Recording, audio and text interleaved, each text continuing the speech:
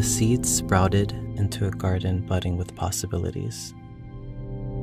My desire for connection was obtained through a gentle gust of affection. A kiss, held captive in a timeless moment, transported us to a world within ourselves. The tender caress of your hand reassured my faith in love, and your boyish charm sparked the playfulness in my soul lost in childhood. Curious to know what could become, the shared bond bloomed into an affair.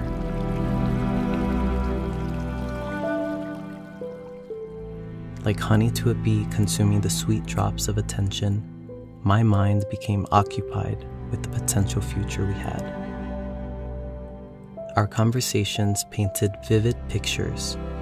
The idea of us took root and blossomed with just enough nourishment to survive.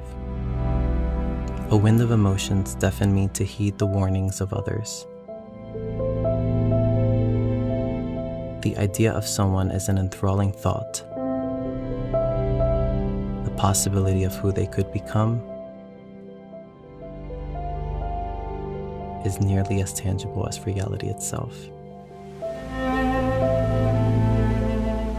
The field of possibilities shrank when you slowly began to take from the garden you tended so meticulously.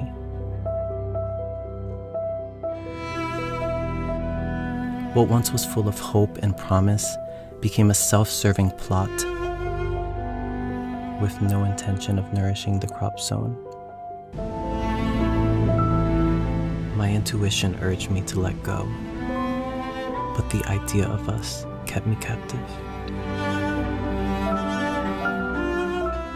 Gripping onto the first blooms of affection with anticipation to revive the love I thought was real, only to realize it was disguised seeds of infatuation.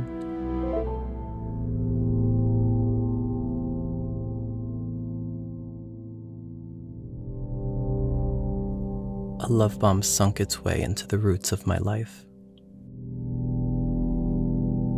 The false reality came to a halt and I found myself alone in an empty garden.